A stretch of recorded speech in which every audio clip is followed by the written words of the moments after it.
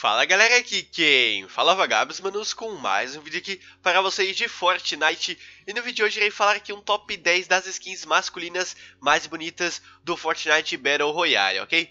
E manos, é o seguinte, o top 10 da semana passada teve muita polêmica. Na real, eu já sabia que era polêmica, mas eu sei eu fiz aquele top 10 porque muita gente pediu, que foi o top 10 das skins mais feias, na minha opinião. Eu sei que muita gente ficou ofendida porque eu falei uh, certa skin que você gostava, eu falei que eu achava feia, mas enfim, mano, é só a minha opinião, tá? Você não precisa levar em consideração a minha opinião, cada um tem sua opinião, então se eu te ofendi eu peço desculpas, ok? Mas não era essa a minha intenção, era simplesmente dar minha opinião a respeito das skins mais feias para mim, ok? Então é isso, eu só queria pedir desculpas aqui se você se sentiu ofendido com a minha opinião. Bom, agora vindo aqui para o top 10 de hoje das skins masculinas mais bonitas, na minha opinião, obviamente, né? Porque, mano, a maioria dos top 10 não tem, tipo, lista certa. Você não vai achar na internet da lista das skins masculinas mais bonitas. Cada um tem sua opinião, ok?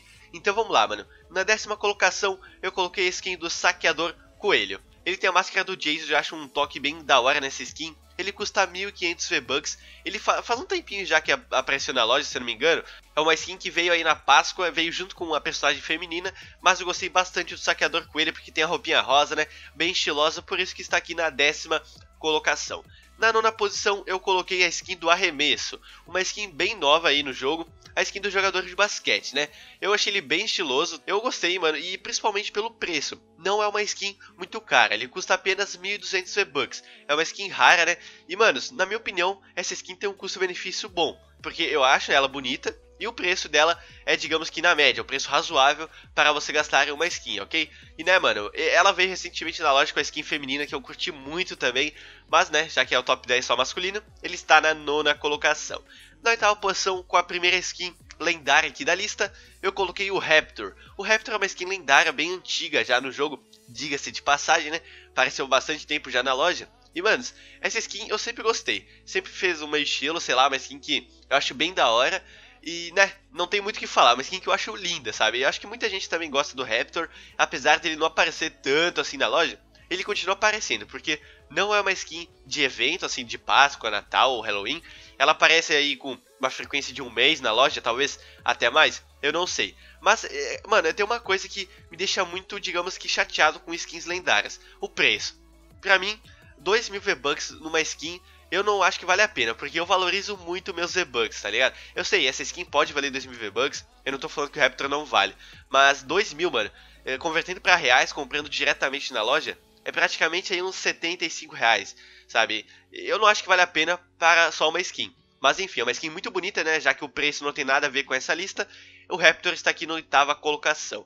Na sétima posição eu coloquei o As dos Alpes, uma skin que eu sempre gostei. Ele tem várias versões né, do país da Alemanha, Grã-Bretanha, tem também da China, se não me engano, tem do Canadá, Estados Unidos, tem várias versões e eu vou colocar só uma versão aqui nessa lista, porque se eu colocar mais vai perder a graça aqui né, da variedade de skins desse top 10. Então eu coloquei aqui no geral o As dos Alpes. É uma skin que custa 1500 V-Bucks, é da raridade épica todas as suas versões. E né, mano, eu sempre gostei, ela veio aí na, quando começou o inverno, acho, lá nos Estados Unidos, se eu não me engano. E né, ela aparece até hoje aí na loja.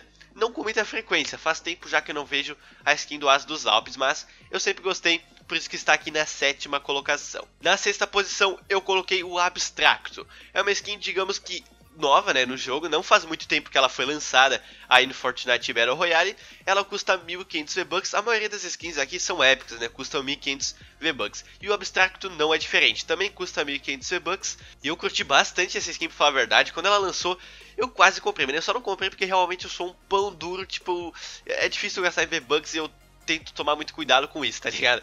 Mas enfim, é uma skin que eu curto muito, ele tem um estilo muito parecido com aquela skin do passe de batalha, né? Uh, da categoria 23 lá, que é a técnica. É muito, eles são idênticos, né? Digamos que a versão feminina e masculina, só que eles vêm um na loja e outro no passe de batalha.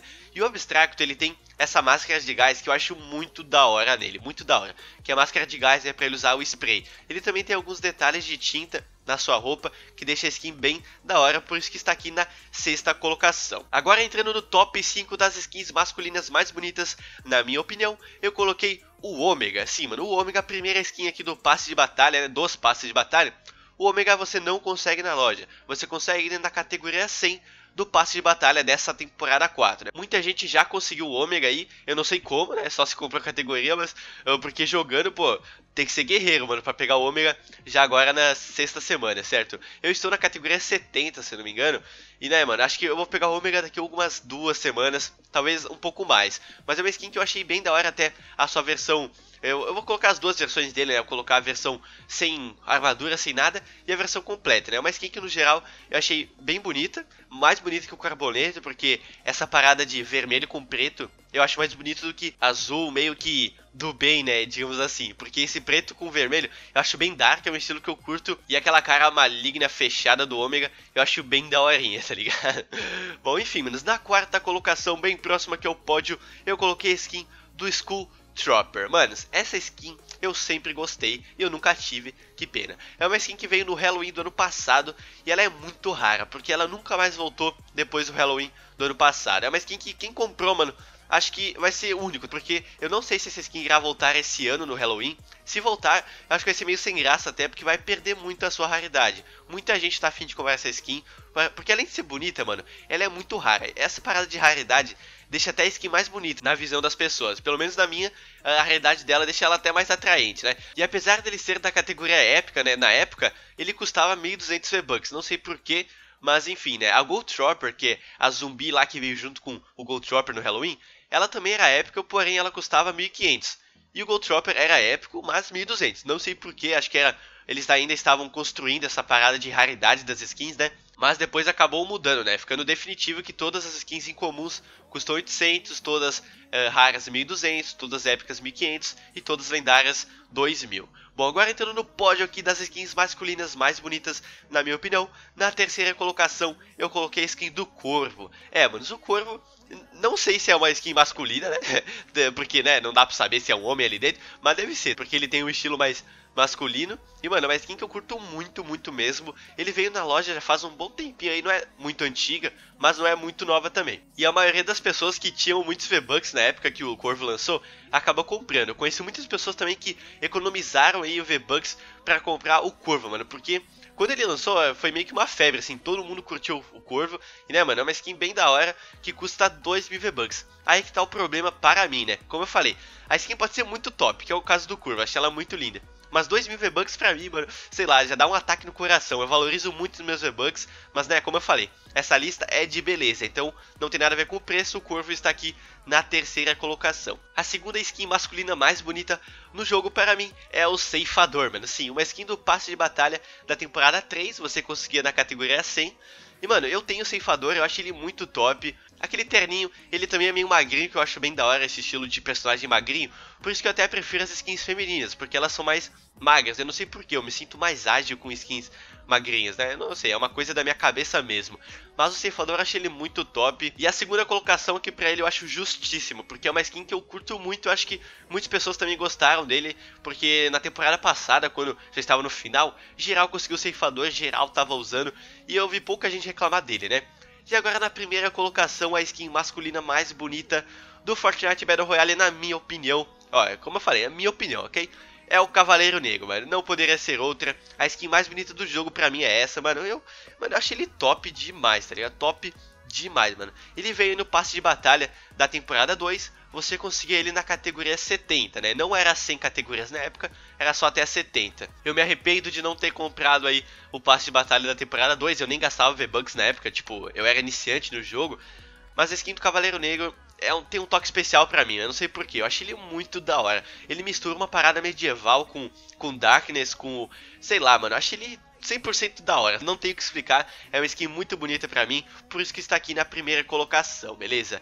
Enfim, mano, espero que vocês tenham gostado do vídeo falando das skins masculinas mais bonitas na minha opinião, beleza? Cada um tem seu gosto, cada um tem a sua opinião. Então deixe aí nos comentários a sua opinião das 10 skins masculinas mais bonitas do Fortnite Battle Royale para eu saber se a minha opinião é mais ou menos parecida com a de vocês, tá ligado? Eu quero ver a opinião da comunidade a respeito das skins masculinas. E bom, esse vídeo foi falando a minha opinião, tá? Eu não, que, eu não quero gerar polêmica, eu não quero ofender ninguém. Eu sei que o vídeo da semana passada teve muita gente que, que se ofendeu porque eu falei mal de certa skin que a pessoa gostava e tal, mas essa nunca foi minha intenção. Eu faço top 10 somente falando a minha opinião, que eu sei que muita gente gosta de ouvir. E não é pra, tipo, não é regra, tá ligado? Minha opinião é só opinião de uma pessoa, tipo, gosto é gosto, não precisa dar bola pra minha opinião. Eu só queria fazer um vídeo aqui diferente de top 10, ok? Então é isso, mano. Se você gostou do vídeo, deixa seu like que não custa nada e me ajuda muito, beleza? Então é isso, galera. Aquele abraço. Se vemos no próximo vídeo. Valeu, falou e eu fui!